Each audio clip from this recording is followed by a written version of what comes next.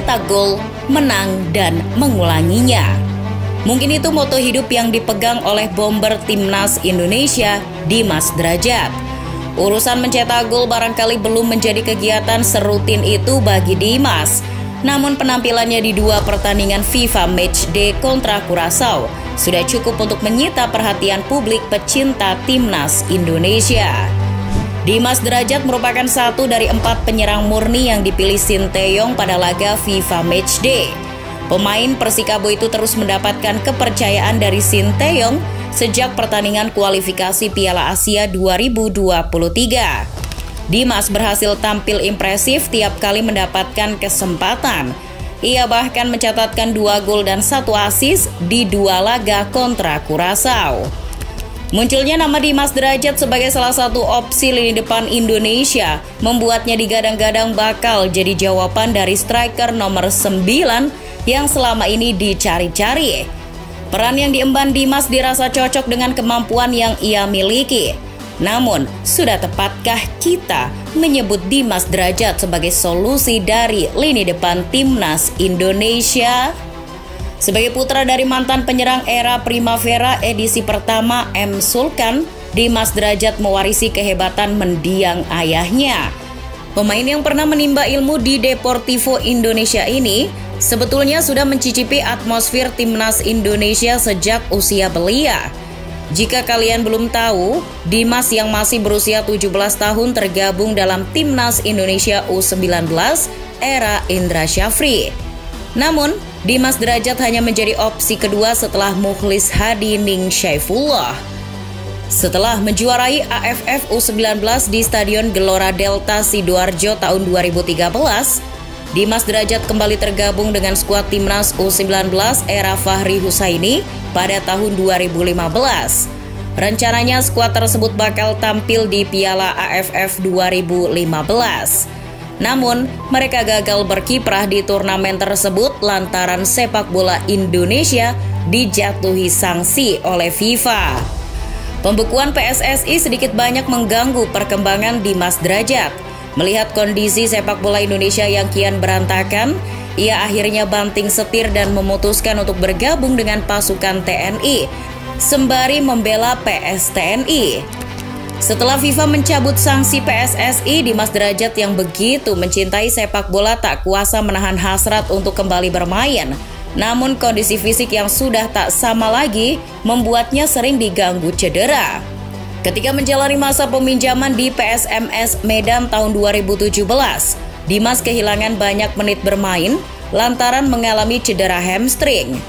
Meski demikian, saat kembali ke PSTNI yang sudah berganti nama menjadi Tira Persikabo, Dimas sempat tergabung dalam skuad timnas Indonesia U23 yang menjuarai AFF U23 pada awal 2019. Namun ia hanya memainkan satu laga dan mendapati dirinya harus menepi dalam waktu yang lama akibat cedera lutut. Namun pandemi COVID-19 pada awal 2020 lalu seolah jadi berkah tersendiri baginya. Ia jadi memiliki waktu untuk memulihkan kondisi fisiknya sebelum kembali bermain penuh untuk Laskar Pajajaran. Pasca pandemi, sepak bola Indonesia mulai kembali hidup. Di tengah gencarnya klub-klub Indonesia mendatangkan penyerang asing, keberadaan Dimas Derajat merupakan sebuah oase. Ia menjadi salah satu penyerang berkebangsaan Indonesia yang sangat layak diperhitungkan. Ilijas Pasojevic memang jadi yang paling subur di perhelatan BRI Liga 1 2021-2022 dengan mencetak 23 gol dalam satu musim. Tapi 11 gol yang dibuat Dimas Derajat bersama Persikabo menjadikannya penyerang pribumi tersubur di musim tersebut.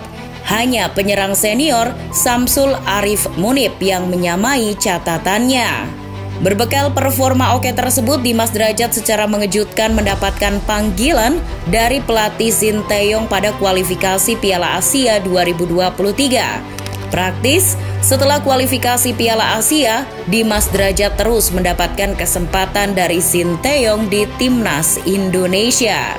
Kepercayaan yang berhasil dibayar dengan torehan 3 gol dari enam laga yang sudah dimainkan bersama skuad Garuda. Memiliki latar belakang sebagai seorang prajurit membuat Dimas Derajat menjelma jadi pemain yang memiliki etos kerja tinggi dan selalu menerapkan jiwa korsa di setiap pertandingan. Hal itu dibuktikan dengan gaya permainannya yang mengutamakan sepak bola kolektif ketimbang mengandalkan kemampuan individunya. Di musim ini Dimas Derajat mampu mempertahankan performa impresifnya bersama klub. Maka dari itu ia kembali dipanggil Sinteyong dalam agenda timnas Indonesia menghadapi Kurasau. Sebagai pelatih Persikabo, Jajang Nurjaman memberikan pujiannya kepada Dimas Derajat. Menurutnya Dimas merupakan striker yang komplit. Dimas itu striker yang komplit. Dia punya skill, postur bagus, naluri mencetak gol yang bagus dan yang terpenting, ia bukanlah striker yang egois dan pada dua pertandingan lawan Kurasau, Dimas sudah menunjukkan itu. Sementara itu Dimas Derajat mensyukuri apa yang didapatkannya dalam laga melawan Kurasau. Ia menegaskan bahwa kemenangan timnas Indonesia merupakan hal terpenting baginya. Dimas Derajat yang mencetak 4 gol memang bukan pemain lokal paling tajam di liga musim ini. Masih ada Spaso yang sudah mengantongi 7 gol tapi kemampuan mencetak gol saja tidak cukup bagi Coach Sin. Dimas dinilai unggul dalam stamina dan etos kerja guna melakukan tekanan di sepertiga area bertahan lawan. Berbeda dengan Spaso yang cenderung hanya menunggu di kotak penalti. Jadi, meski sama-sama pemain nomor 9, Sinteyong lebih menyukai gaya bermain Dimas Derajat. Dalam dua laga melawan Kurasau, timnas Indonesia memang tak mengambil inisiatif untuk menguasai bola. Indonesia tercatat hanya menampilkan persentase penguasaan bola di angka 40% saja. Dengan begitu, mengandalkan kerja keras dan kecepatannya, Dimas Derajat diposisikan sebagai striker yang bertugas memberikan high press ketika tim lawan tengah menguasai bola. Tak cukup di situ, Dimas juga sangat baik berperan sebagai target man di lini depan. Hal itu terbukti saat ia memberikan umpan kepada Mark Klok ketika terciptanya gol penyeimbang di laga pertama kontra Kurasau. Menerima umpan dari Egi, Dimas yang jeli langsung memantulkan bola kepada Klok yang berdiri tanpa pengawalan. Klok yang tinggal berhadapan dengan kiper tak kesulitan untuk menjebol gawang Kurasau. Kepercayaan Sinteyong yang tampaknya berhasil dibayar lunas oleh Dimas Derajat Pemain yang juga anggota TNI Angkatan Darat itu berhasil mencetak dua gol, satu asis dari dua laga. Namun ketika Dimas disebut sebagai jawaban lini depan timnas Indonesia, ia tetap rendah hati. Dimas memilih untuk fokus ke AFF 2022 Desember mendatang. Ajang tersebut bakal jadi panggung pembuktian bagi Dimas Derajat bersama timnas Indonesia.